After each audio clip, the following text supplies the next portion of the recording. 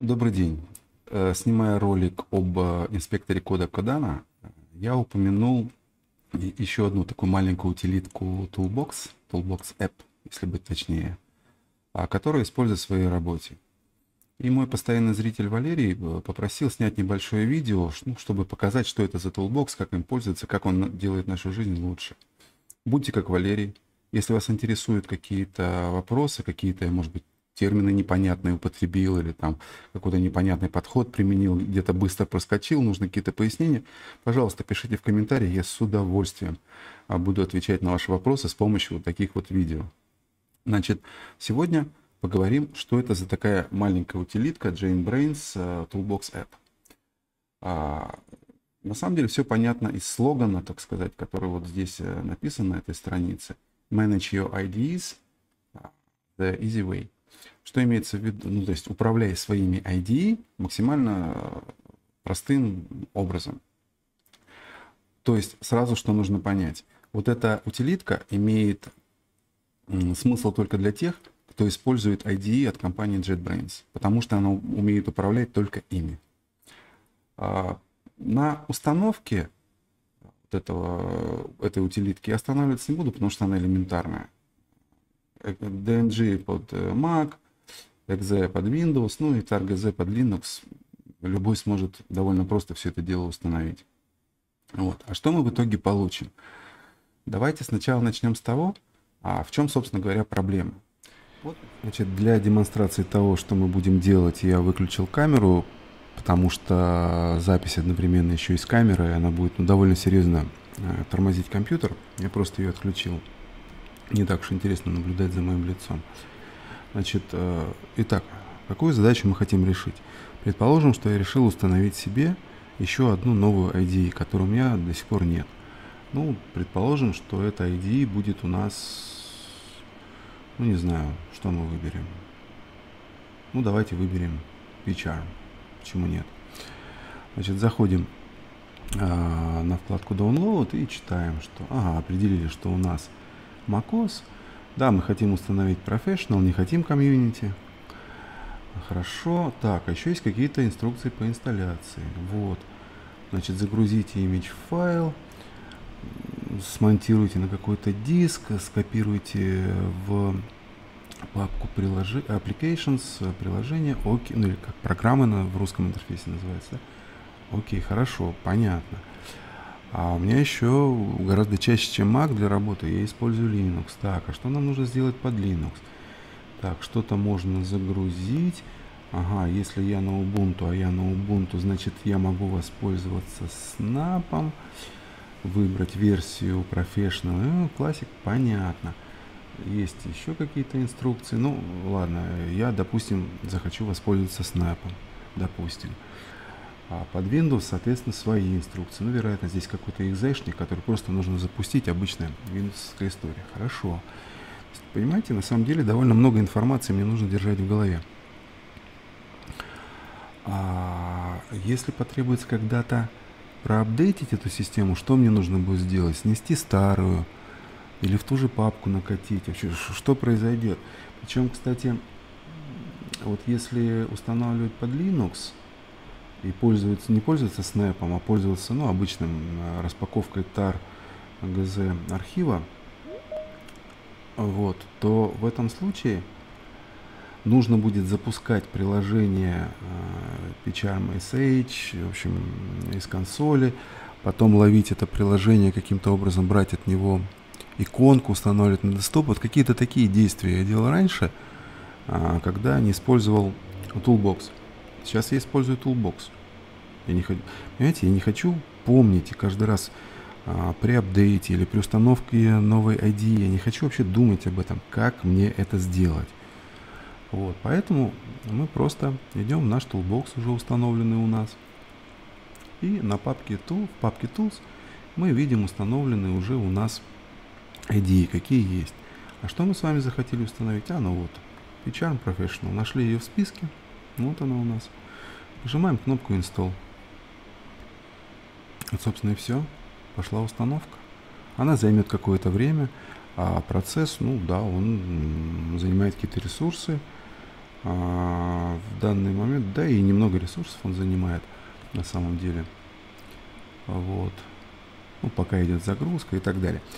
Но хорошо, а, если бы все достоинства Toolbox ограничивались только этим, что вот мы можем а, что мы можем всего лишь устанавливать IDE, ну, наверное, не стоило бы с ним связываться. Ну, уж как-нибудь разобрались бы со снэпами и с имиджами для macOS. Но нет, есть и дополнительные преимущества. Ну, вот, например, а, когда придет пора обновления для какой-то IDE, то есть выйдет новая версия, а, буквально вот здесь, ну, скажем, RabbitMine обновится, и здесь появится кнопка Update – если обновятся, ну, приедут новые версии нескольких идей, у каждой из них появится кнопка Update, а чуть выше даже появится такая, ну не кнопка, а ссылка, а, по которой если кликнуть, то обновятся все эти IDE, а, которые требуют обновления, ну, которые позволяют обновиться. То есть все буквально в один клик. Но более того, что можно сделать? Обратите внимание, значит, а, вот PHP Storm, например, есть кстати, есть э, ссылка, что нового, вот в текущей новой версии установленной, сразу можно посмотреть, ну или перейти, почитать э, более подробно, если что-то заинтересовало. А, но это ладно. Есть а, такое другие версии, другие версии. То есть я могу установить еще одну версию. Скажем, я могу установить Early Access Product версию. То есть это ну, что-то типа бета-версии, да, когда уже новые фички, ну, то есть они еще не попали в стабильную версию, но их уже можно попробовать, пощупать, что там а, нового, интересного, вкусного появилось в нашей IDE любимой, да, поэтому можно запустить и ее инсталляцию. Вот. Тоже, кстати, можно посмотреть, что здесь нового именно в этой версии и установить ее. Извините, я тут живу в деревне, и в индонезийских деревнях собаки тоже иногда лают, поэтому если такие звуки слышите, прошу извинить, мой микрофон не в силах это отсечь. Так, дальше. Что еще? А, можно откатиться на предыдущую версию. То есть мы загрузили что-то новое, установили, а оно у нас не поехало. Ну, по каким-то причинам что-то там нам не понравилось. Ну, давайте скорее ее откатим и вернемся на предыдущую версию. Можно, естественно, вообще доинсталлировать э, приложение со своей машины, прямо вот не выходя из этого меню. Удобно? Я считаю удобно. Но это же ведь не все, потому что есть еще у нас вкладка «Проекты», на которой мы быстро находим а, проекты, которые есть на нашей машине. То есть нам не нужно ходить по файловой системе, там на Mac в Finder, там, как у нас, диспетчер файлов или как это называлось раньше в Windows – в общем, не нужно нам бродить по файловой системе и разыскивать, где лежат наши проекты. Они у нас все здесь. Для всех IDE, вот все, что у нас имеется, у нас здесь на месте. Мы можем искать по проектам, ну, то есть вот фильтровать по названию. Ой, sorry, даже на, русский, на русском языке что-то пытался искать. Вот. Или там ларавелевский меня интересует только проекты. Вот, пожалуйста, они у меня здесь. А, то есть э, для этого Mac это не очень актуально, потому что здесь всего 4 проекта на текущий момент, а на Linux в моей машине их ну, сильно больше, они в экран не влезают. Проще, значит, э, можно просто пользоваться вот такими вещами. Более того, можно выделять некоторые проекты как э, favorite, и они у нас э, поднимутся вот э, на уровень выше, чтобы их было еще проще искать. Скажем, рабочие проекты можно вот так вот выносить, ну, которыми мы пользуемся каждый день. Можно сразу выносить favorites, чтобы получать ним быстрый доступ. А те проекты, над которыми мы работаем там время от времени, ну, можно их каким-то образом, ну, не отмечать их таким favorite, они будут ниже в списке проваливаться. Вот такой еще есть момент. А, можно убрать из списка проектов вот данный этот проект, чтобы он здесь не светился. Ну, если это кому-то нужно. Я, честно говоря, не очень понимаю, зачем прятать из списка, ну окей. А вдруг кому-то пригодится. Дальше. А, появилась буквально вот в последней версии Toolbox, который тоже, само собой, время от времени обновляется, в нем появилась еще одна вкладка, называется она «Сервисы», где мы получаем доступ к сервисам непосредственно JetBrains. То есть не к IDE, а каким-то сервисам. Ну, Datalore на самом деле это а, просто открыть в браузере, если вам интересно. Это такой проектик, ноутбуки, что-то Юпитер ноутбуки для а, людей, которые работают с данными, Data Scientist. Я в этой области пока что никак не участвую, мне это не очень интересно. Но тем не менее, да, вот есть э, вот такая ссылка здесь есть, можно ее удалить. Мне не мешает. И э, с другой стороны, можно отсюда прямо зайти в Space. Space это интересная штука, которую я сейчас начинаю пользоваться, но пока что не готов вам а, продемонстрировать, что это такое. На самом деле Space это такое пространство для работы команды, включая разработчиков, тестировщиков, там даже дизайнеров, бизнес-представителей, экспертов, он, продукт-оунеров и, и кого угодно еще. Вот. А, это такая смесь и жиры, репозиториев, и обсуждений, чего, чего, чего, чего угодно. Всего, что нужно для а, командной работы над проектом. Очень прикольная штука, но я пока что в ней только разбираюсь. Как только разберусь, может быть, попробуем снять а, какой-нибудь ролик. Вот. вот такие задачи можно решать не выходя из этого окошка JetBrains Toolbox. Но и это не все. Кстати, вот при любой, как только вы заходите на, страничку любой ID, любого продукта uh, JetBrains, вам говорят, что, ребята, есть такая прекрасная штука, Toolbox App, не примените воспользоваться. Вот, так что вы тоже не примените и воспользуйтесь. Но и это еще не все. Дело в том, что наш замечательный Toolbox – умеет интегрироваться с GitHub, GitLab и Bitbucket. Как это происходит? Это происходит через расширение. Расширение устанавливается только в браузерах Chrome и Firefox. Другие браузеры не поддерживаются. Ну, в принципе, я думаю, большинство разработчиков пользуются именно Chrome или а, Firefox. Как это работает? Значит, я вам продемонстрирую. Здесь у меня Chrome.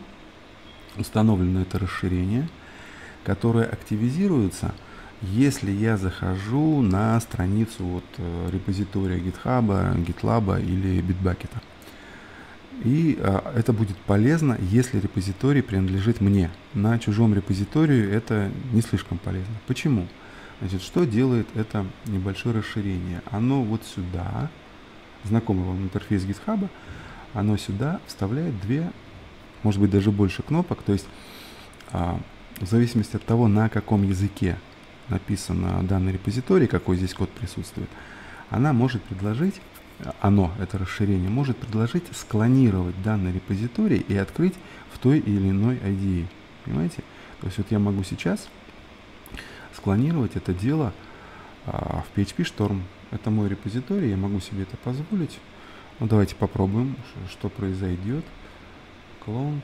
Вот, он спрашивает, видите, ему потребуется как бы через Toolbox это сделать. Он меня спрашивает, вы согласны, чтобы из браузера там произошли какие-то действия? говорю, давай, работай. Вот, сейчас происходят некоторые штуки, нам невидимые.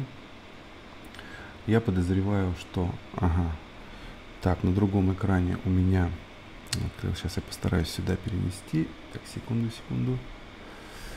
Вот сюда я сейчас перенесу открылось у меня вот такое окошко, вот, которое говорит, что парень, а, ты хочешь вот такой вот репозиторий, значит, э, себе склонировать, вот такую-то директорию.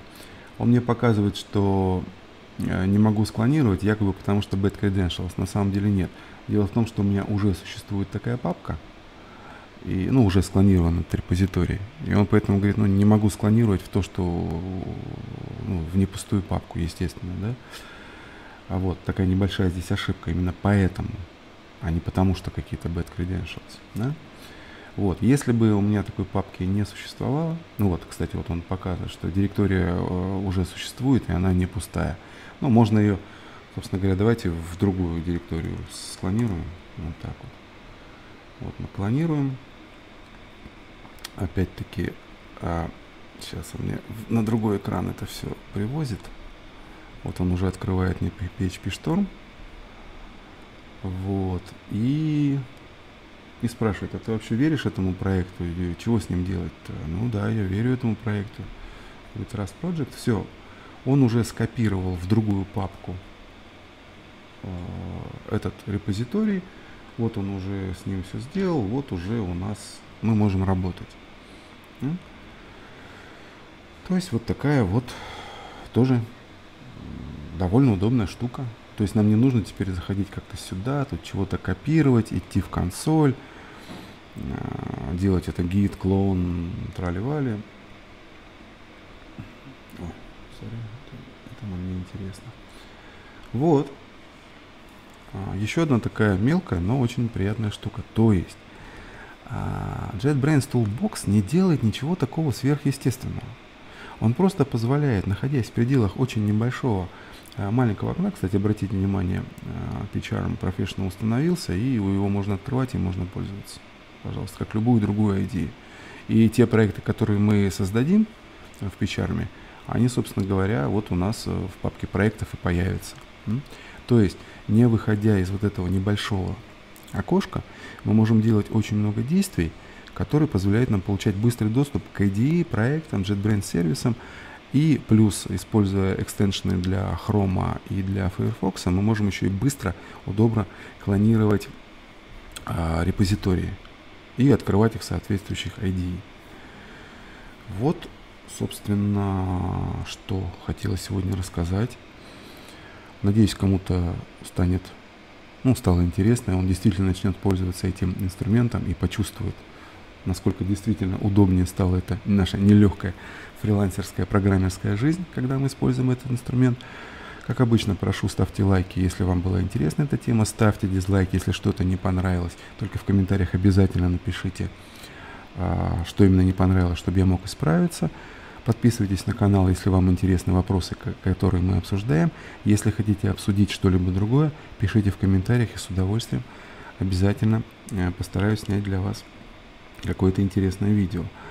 Значит, э, а на сегодня, наверное, все. Всем интересных проектов, прекрасных работодателей, хороших заработков и удачи. До встречи!